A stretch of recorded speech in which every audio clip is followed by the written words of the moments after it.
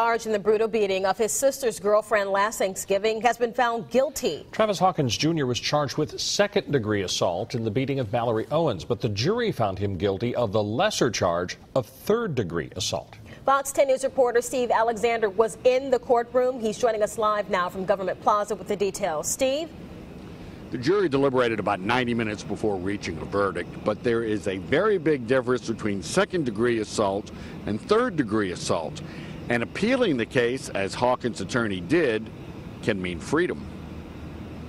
The jury found Travis Hawkins Jr. guilty of third degree assault, not second degree assault, his original charge. Second degree assault is a felony punishable by a maximum of 10 years in jail.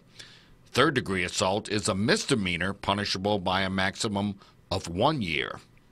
How do you feel about the sentence? Mallory Owens left the courtroom without speaking.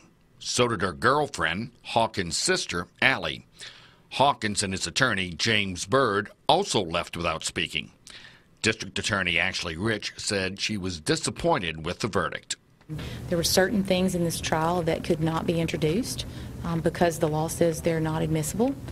Jail records show Travis Hawkins Jr. was arrested last month for third degree domestic violence and for harassing communications in December of 2012, less than a month after he was charged in the beating of Mallory Owens. I just only wish that, you know, the the facts of the violent nature of this young man, um, his history, of domestic violence would have been admissible.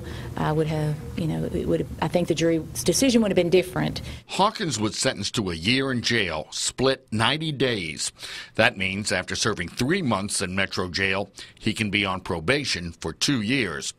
But because Hawkins' attorney is appealing, Rich says he can get out of jail as soon as he posts a $3,000 bond. He's not going to serve any jail time right now. He's bonding out. His attorney's already said he's bonding out, and he's going to get right back out in the community this afternoon. This is a picture of Mallory Owens after she was beaten on Thanksgiving Day of 2012. How concerned are you about Mallory's future safety?